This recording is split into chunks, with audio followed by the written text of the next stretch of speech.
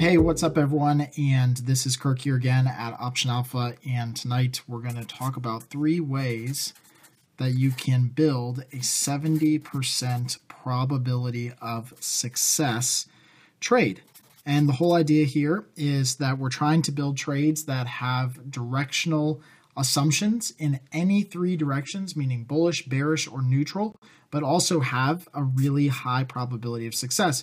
And this is actually a lot easier to do than people think. People overcomplicate this all the time. So here's how you basically do it, right? So let's say that you've got a stock that's moving, right? And it doesn't matter where the stock is, right? But the stock is, you know, at X point right here.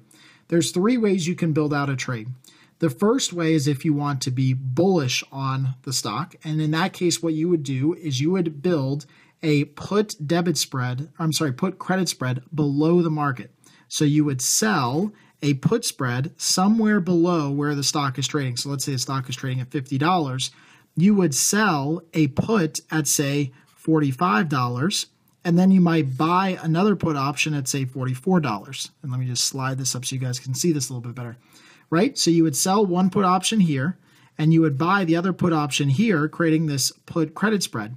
Now, in this case, you could figure out exactly where this put option's uh, probability of success is and basically build a 70% probability of success trade that wins because the stock could go sideways, could move higher, or could even go lower. But as long as it doesn't go below your short strike at 45, you would win. So that's a bullish type of a setup. Now, the other way that you could do it, and let me just get another piece of paper here so you guys can see this. I feel like a teacher back in like the old days where they used to do like the overhead projectors.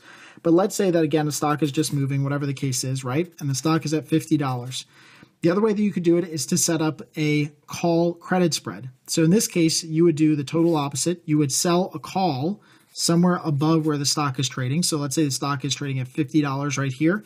You would sell a call at 55 and maybe you buy a call option at 56 and you just create that spread. So these are call options up here, right?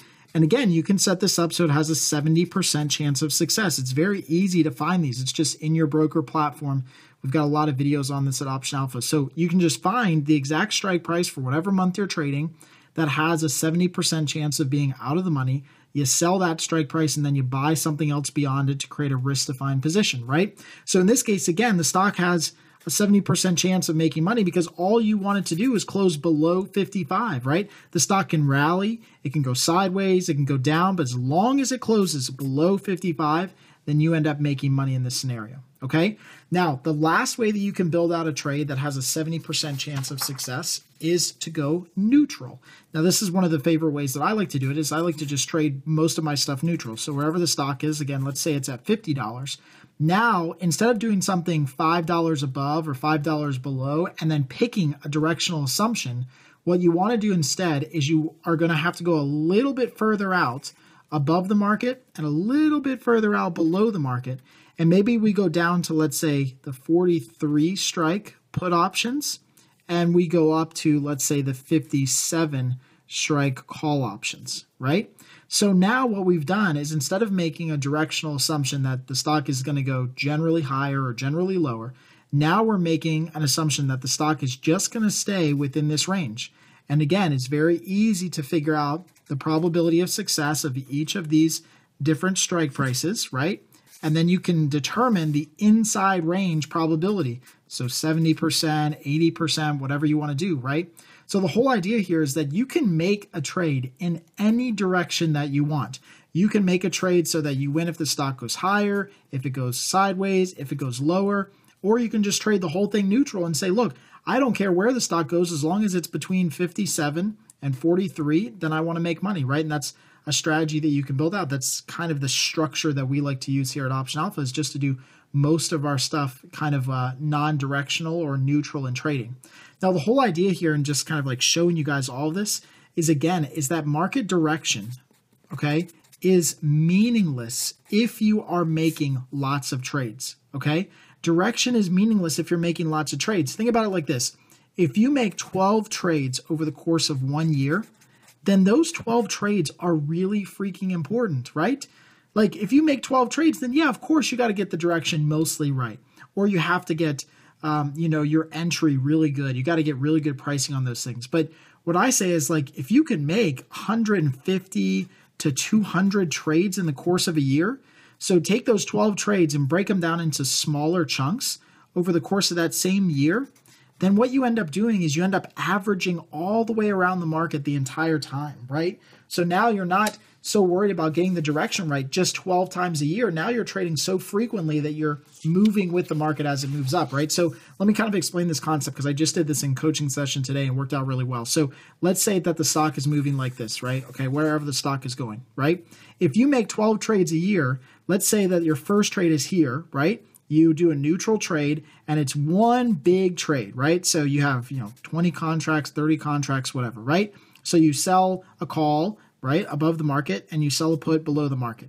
Well, now that trade basically carries you until the next expiration period. And then you make another big trade based on where the stock is at expiration, right? And that trade carries you until the next expiration period. And you make another big trade until we get to that point, right? But during this entire time, you have a lot of directional risk. You've got to really get the market direction right, right? I mean, you're making 12 trades a year or even 30 trades a year, something like that it's really important that that trade becomes very, very successful, right? And you don't have enough trades to let the probabilities work themselves out. So, what I say is do this I say instead of doing 12 trades a year, make little incremental trades every single day if you can, right? If you can't, I get it. Like your job, your work, your family, everything, right? You can't make, you know, lots of little trades every day. I get that, right? But try to make more trades than not. So every day that the market moves, now you have the market up here, you make another trade where you move up your strike prices maybe a dollar. And then the market has a big jump higher, great, make another trade and move your strike prices up. And the market just keeps going and it moves up here. We make our, you know, sell our strikes and the market's here and here. And so we're just averaging around the market. We're moving our strikes the entire time as the market's moving all around us, right? So that's the whole idea of doing this. And when you do that, you basically average around the market. You follow the market the entire time. So as the market goes up, your average contract strike prices go up. As the market goes down, your contracts kind of average down.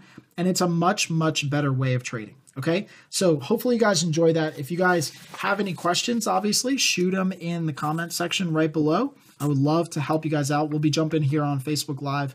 Um, again, either, well, maybe on later on tonight, late uh, tonight, because I'm going to be up doing some stuff on the website, or uh, definitely tomorrow. So if you guys like this, obviously, give me the thumbs up, the hearts, whatever you guys like to do, and uh, please share it and let me know what other kind of videos you guys want to see. Until next time, happy trading.